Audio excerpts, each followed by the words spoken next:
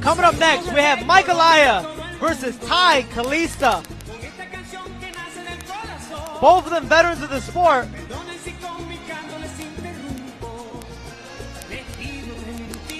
But walking out right now is Mike Olaya, representing the country of Colombia.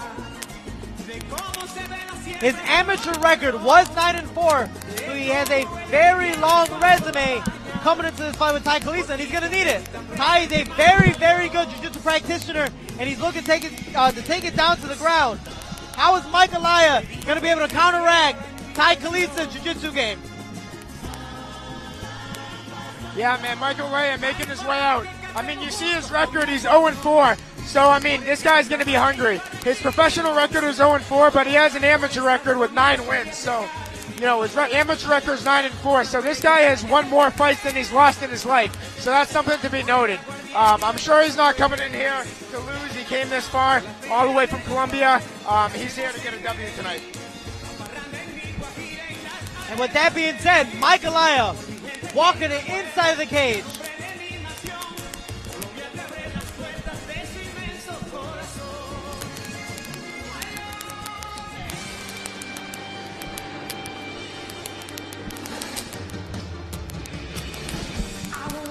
This guy walking out to the Pokemon theme song? Oh man, I want to sing along.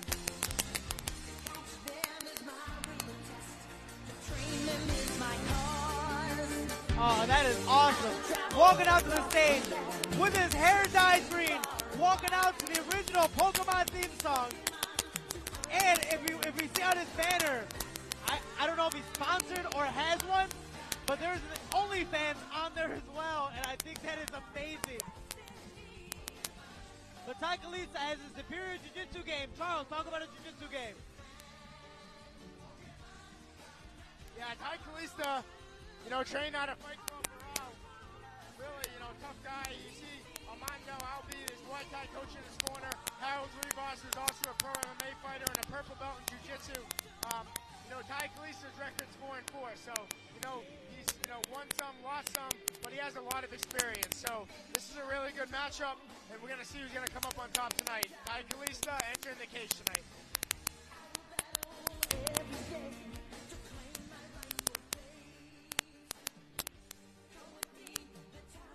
Okay, ladies and gentlemen, this is the first round of the second fight of the evening. Introducing first the blue corner with a professional record of no win and four losses. In the lightweight division with 155 pounds. Fighting out of Colombia, Mike Olaya. In the red corner with a professional record of four wins and four losses. In the lightweight division with 155 pounds. Fighting out Punta Cana, Dominican Republic. Ty La Pollona Calista. Our referee in charge, Oliver, el veterano Cruz.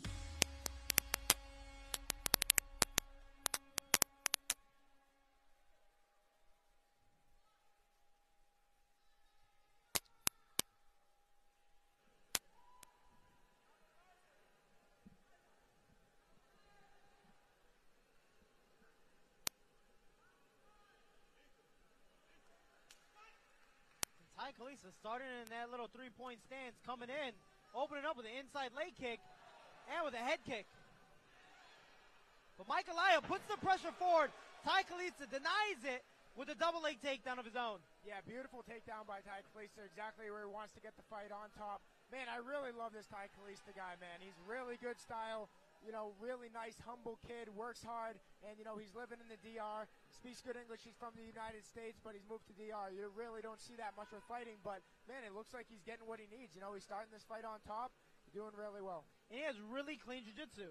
You know, watching his last fight against Lucas Marte, that's one of the things he did very, very well was solidify position, dominate position, and if need be, finish the round on top. And Yeah. here, he's not letting Mike Olaya move.